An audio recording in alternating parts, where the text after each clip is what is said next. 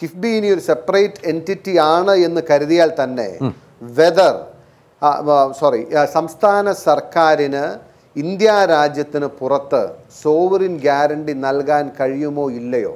ഒരു നിയമസഭാ സാമാജികൻ എന്ന നിലയിൽ ഇന്ത്യൻ ഭരണഘടന പഠിച്ചിട്ടുള്ള അന്വ അറിഞ്ഞിട്ടുള്ള അല്ലെങ്കിൽ അത് പരിശോധിച്ചിട്ടുള്ള ഒരു നിയമസഭാ സാമാജികൻ എന്ന നിലയിൽ എം സ്വരാജിന്റെ അതിനോടുള്ള സ്ട്രെയിറ്റ് ആയിട്ടുള്ള ഉത്തരം. അതായത് ഞാൻ ഒന്നുകൂടി സ്പെസിഫിക് ആയിട്ട് പറയുകയാണ് പണം പുറത്തുപോയി കടമെടുക്കുന്നതല്ല. അതിന് സംസ്ഥാന സർക്കാരിന് ഇന്ത്യ രാജ്യത്തിന് പുറത്ത് കൺസോളിഡേറ്റഡ് ഫണ്ടിനെതിരെ സോവറിൻ ഗ്യാരണ്ടി നിൽക്കാൻ കഴിയുമോ ഇല്ലോ ഇല്ലയോ എന്നതാണ് ചോദ്യം. ശരി. ആ ചോദ്യത്തിലേക്ക് നേരിട്ട് സ്വരാജ്. സ്വരാജ് നേരത്തെ ആർട്ടിക്കിൾ ടു നയന്റി ത്രീയെ കുറിച്ച് പറഞ്ഞതിൽ വേറൊരു വെർഷനാണ് പെർസെപ്ഷനാണ് ഇപ്പോൾ മാത്യു കുഴൽനാടൻ അവതരിപ്പിച്ചത്. അല്ല? പറഞ്ഞോട്ടെ. ആ ഒരു ഒരു നിമിഷം. ഇത് അദ്ദേഹം പറഞ്ഞിട്ട് മാത്യുവിലേക്ക് വരാം. ഇത് ഏതായിരുന്നാലും ഈ article two ninety three borrowing by സ്റ്റേറ്റ്സിനെ സംബന്ധിച്ച് ബഹുമാന്യനായ കോൺഗ്രസിന്റെ പ്രതിനിധി ഇവിടെ സംസാരിച്ചതിൽ എനിക്ക് സന്തോഷം. കാരണം അദ്ദേഹത്തിന്റെ ഒരു വാദഗതി ഗ്യാരണ്ടിയെ കുറിച്ച് മാത്രമായിട്ട് പക്ഷെ നിയമസഭയിൽ നിന്ന് കോൺഗ്രസിന്റെ വാദഗതി അങ്ങനെ ആയിരുന്നില്ല. അവർ സ്റ്റേറ്റ്സിനെ കുറിച്ച് നമ്മളെ നിർവചനത്തിൽ തന്നെ. ഇപ്പൊ തന്നെ സോഷ്യൽ മീഡിയയിൽ സ്റ്റേറ്റ്സിന്റെ നിർവചനം പറഞ്ഞു പറഞ്ഞ് തൃത്താലകം യുണൈറ്റഡ് സ്റ്റേറ്റ്സ് ഓഫ് അമേരിക്ക വരെ എത്തിയിരിക്കുന്നു. ഏതായാലും അങ്ങനെയൊന്നും ഈ ചർച്ചയിൽ പങ്കെടുക്കുന്ന പ്രതിനിധി പറയാത്തതിൽ എനിക്ക് സന്തോഷം. അദ്ദേഹം ഇവിടെ ഒരു ന്യായമായ സംശയം അല്ലെങ്കിൽ ഒരു ആർഗ്യുമെന്റ് മുന്നോട്ട് വെക്കുകയാണ് ഞാനതിന് മറുപടി പറഞ്ഞുകൊണ്ട് എനിക്ക് സൂചിപ്പിക്കാനുള്ളത്. സി ആൻഡ് എ ജി ഇത് സംബന്ധിച്ച് പരാമർശിക്കുമ്പോൾ നടത്തിയിട്ടുള്ള ഒരു പ്രയോഗം അല്ലെങ്കിൽ അവരുടെ കണ്ടെത്തൽ ഈ സർക്കാരിന്റെ ഗ്യാരണ്ടിയെ സംബന്ധിച്ചും അല്ലെങ്കിൽ ഇത് സ്റ്റേറ്റിന്റെ നിർവചനത്തിൽ ഇതിനെ ഉൾപ്പെടുത്തുന്നതിനും കാരണമായി അവർ ചൂണ്ടിക്കാണിക്കുന്നത് കിഫ്ബിക്ക് തനതായ വരുമാനമില്ല. ഇല്ല. സർക്കാരിന്റെ എയ്ഡും കൊണ്ട് മാത്രം പ്രവർത്തിക്കുന്നു. സർക്കാരിന്റെ ഗ്യാരണ്ടി മാത്രമാണിത്. അത് ഡയറക്റ്റ് ലയബിലിറ്റിയാണ് എന്ന് സി ആൻഡ് എ ജി ചൂണ്ടിക്കാണിക്കുകയും ചെയ്യുന്നു. ഞങ്ങളുടെ ആർഗ്യുമെന്റ് ഡയറക്റ്റ് ലയബിലിറ്റി അല്ല കണ്ടിജന്റ് ലയബിലിറ്റിയാണ് ഒന്ന്. അതാണ് ഞങ്ങളുടെ ഇതിന്റെ ന്യായം. രണ്ട് കിഫ്ബിക്ക് തനത് വരുമാനം ഇല്ല എന്ന് പറയുന്നത്. ഈ ഗ്യാരണ്ടിയൊക്കെ വരുന്നത് വരുമാനം ഇല്ലാതെ വരുമ്പോഴാണല്ലോ പ്രശ്നം ഉയർന്നു വരുന്നത്. എന്നാൽ തനത് വരുമാനം ഉണ്ട്. കിഫ്ബി വഴിയുള്ള പ്രൊജക്റ്റുകളിൽ ഇരുപത്തഞ്ച് ശതമാനം പ്രൊജക്റ്റുകൾ വരുമാനം തിരികെ ലഭിക്കുന്ന പ്രൊജക്റ്റുകളാണ്. അത് ഉറപ്പുവരുത്തിയിട്ടുണ്ട്. അത് സി ആൻഡ് എ ജി പറയുന്നത് തെറ്റാണ്. അവർക്ക് മനസ്സിലായിട്ടില്ലെങ്കിൽ അത് അവർ തിരുത്തേണ്ടതാണ്. ഇപ്പോൾ തന്നെ പെട്രോ കെമിക്കൽ പാർക്കിന്റെ ഭൂമി സംബന്ധിച്ച നടപടികളുടെ ഭാഗമായി കൃത്യമായി എനിക്കൊന്ന് നോക്കണം. നാനൂറോ അഞ്ഞൂറോ കോടി രൂപ ഇതിനോടകം കിഫ്ബിയിലേക്ക് തിരിച്ചു വന്നു. അതായത് വരുമാനമായി നാനൂറ് കോടി എന്നാണ് മന്ത്രി അതെ അതെ അതെ. കെ ഫോൺ വരുമാനമുള്ള പദ്ധതിയാണ്. ട്രാൻസ്ഗ്രിഡ് വരുമാനമുള്ള പദ്ധതിയാണ്. നിങ്ങൾ ഈ ഗ്യാരണ്ടിയൊക്കെ വിട്. കിഫ്ബിക്ക് തന്നെ വരുമാനം ഉണ്ട് ഇരുപത്തഞ്ച് ശതമാനം പ്രൊജക്റ്റ് വരുമാനം ഉള്ള പ്രൊജക്റ്റുകളാണ് അതോടൊപ്പം തിരിച്ചടവ് ഉറപ്പുവരുത്താൻ നിയമാനുസൃതമായി തന്നെ നമ്മളെല്ലാവർക്കും അറിയുന്ന പോലെ അതിനുള്ള മാർഗങ്ങളും കൈക്കൊണ്ടിട്ടുണ്ട്.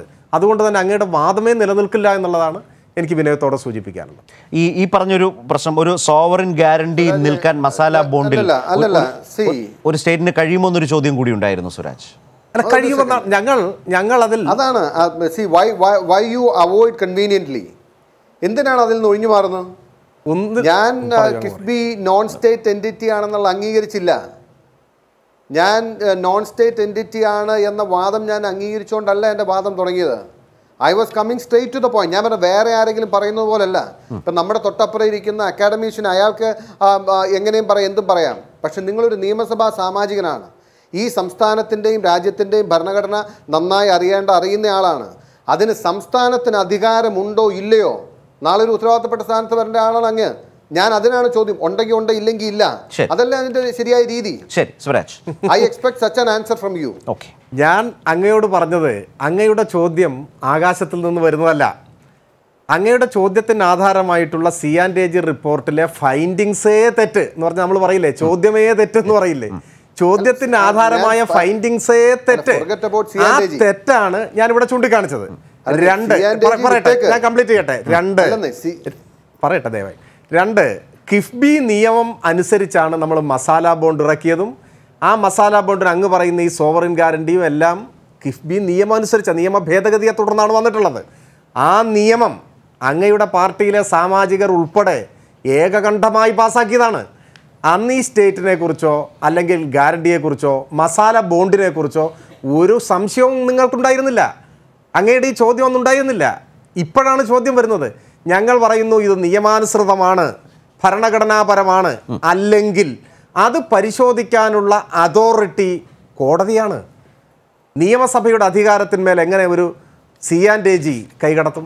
ഇനിയിപ്പോൾ സി ആൻഡ് എ ജി റിപ്പോർട്ടിനെ കുറിച്ച് തന്നെ പറയാം. സി ആൻഡ് റിപ്പോർട്ട് നിങ്ങൾ അതുപോലെ സ്വീകരിക്കുകയാണ്. ഇന്ന് സഭയിൽ ചോദിച്ചപ്പോൾ അതിന് അങ്ങനെയാണ് പറഞ്ഞത്. അത് ജനങ്ങളുടെ മുൻപിൽ നിങ്ങൾ വിശദീകരിച്ചോളൂ. അത് ഞങ്ങൾക്ക് നന്നായി നിങ്ങൾ അങ്ങനെ പറഞ്ഞത്. Arunkumar Agarwal versus union of India and others എന്ന ടൂ തൗസൻഡ് തേർട്ടീനിലെ കേസ് ആ കേസിന്റെ ജഡ്ജ്മെന്റിൽ കൃത്യമായി പറയുന്നുണ്ട് ഈ സി ആൻഡ് റിപ്പോർട്ട് സഭയ്ക്ക് വേണേൽ തള്ളാലോ. പി എസ് സിക്ക് തള്ളിക്കളയാം. നിങ്ങൾ രാഷ്ട്രീയ ലക്ഷ്യത്തോട് ബഹുമാനായ കോൺഗ്രസ് പ്രതിനിധിയോട് എനിക്ക് ചോദിക്കാനുള്ളത് മറ്റൊന്നുമല്ല. നിയമവിദഗ്ധന്മാരും മറ്റാളുകളൊക്കെ ആ ഭാഗങ്ങളൊക്കെ പറഞ്ഞോട്ടെ.